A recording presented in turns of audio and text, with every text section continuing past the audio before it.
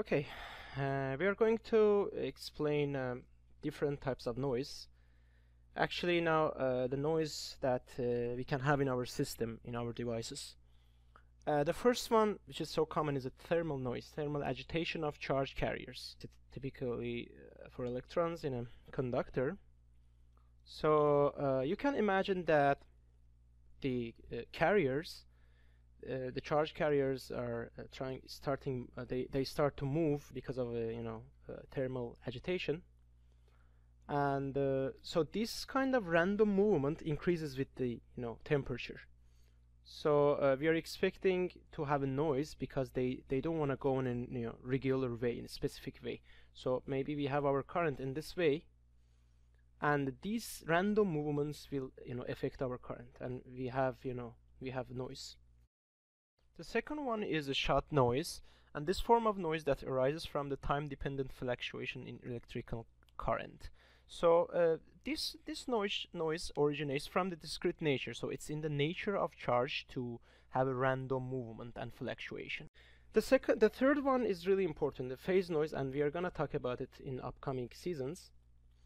And uh, we can explain it. I can explain it uh, briefly here, imagine that we have the uh, we have a signal here, this black one, and here if we have a phase noise, we will have phase variations. As you see, the phase here uh, changes all the time, and it, it this is called uh, the phase noise.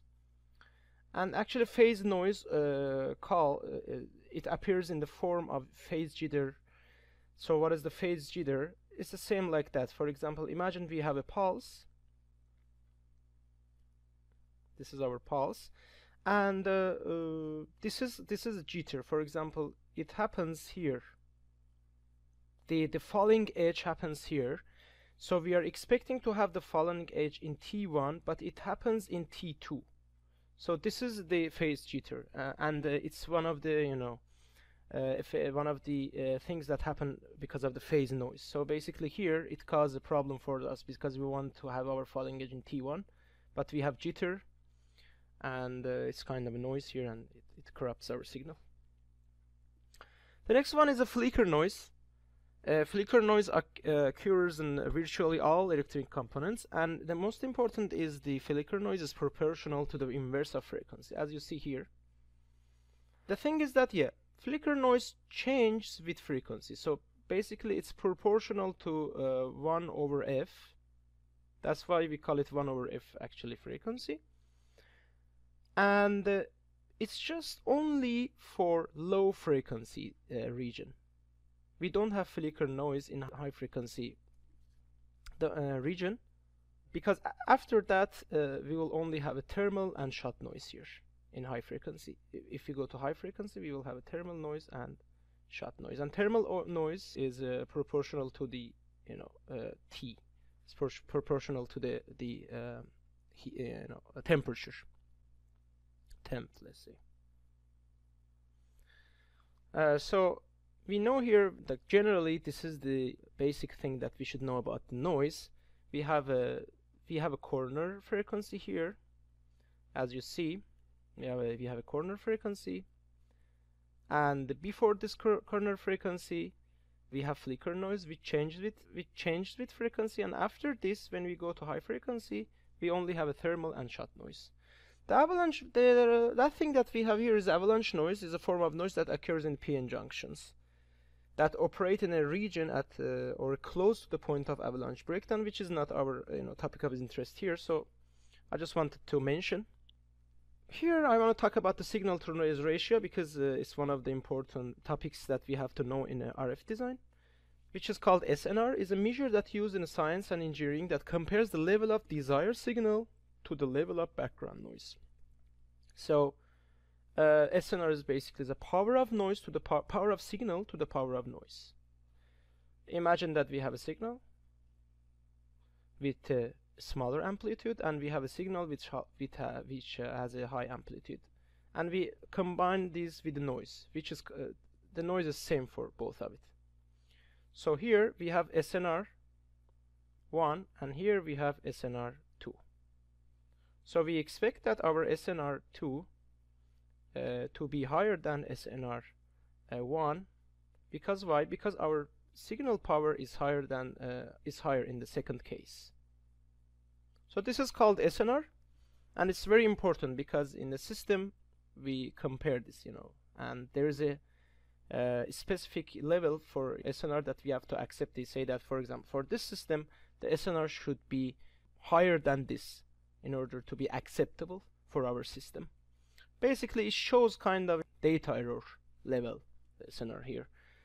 Uh, if you, obviously if we have a very small signal the signal will be affected so much by the noise. As we want we always have to want to have the high SNR just uh, notice it's obviously we want to decrease the P of noise which is sometimes we can't do it because you know noise is always there so if we can't uh, change the P noise why not? We can change the signal power. We can increase the signal power in order to have high SNR and also we have SNR in a uh, in a logarithmic you know domain and we can say that the SNR actually SNR dB is 10 log log 10 the SNR itself. And we show it with a dB here and this is this is our SNR I would like to make some make an uh, example for you here. Uh, let's say we have a, a signal power of uh, uh, 1 milliwatt here and uh, we have a noise power of 0.1 milliwatt. We want to calculate our SNR so we said our SNR is signal to noise ratio.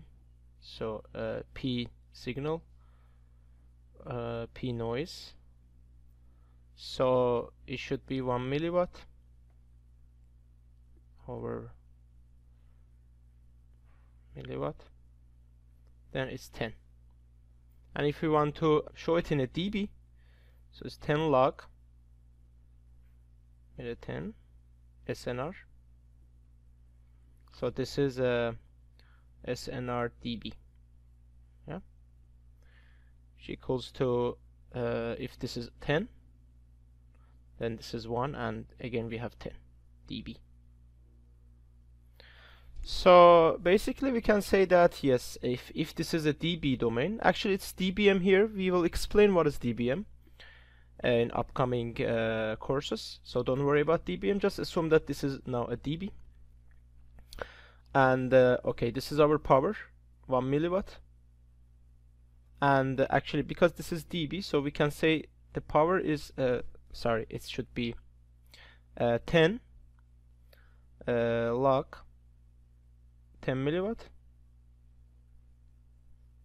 And this is uh, this the power here is 10 log uh, 0.1 milliwatt. And the difference between this is our SNR so this is our noise floor and this is our signal power. This is power here this is P and uh, the difference between this shows our SNR in dB but if we want to uh, calculate the SNR we have to divide them Thank you for watching our video. Please don't forget to subscribe. You can learn about this topic and more using our website. The complete course on this topic is provided on our website at www.rahsoft.com. Rahsoft is providing a complete certificate on radio frequency. The RF Basic Concepts and Fundamentals course is provided free at our website. The courses are complete step-by-step approach with quiz and examples and certificate of completion will be provided upon finishing each course. By taking the required courses in RF system and IC design with pass status, Rahsoft would provide the Rahsoft radio frequency certificate.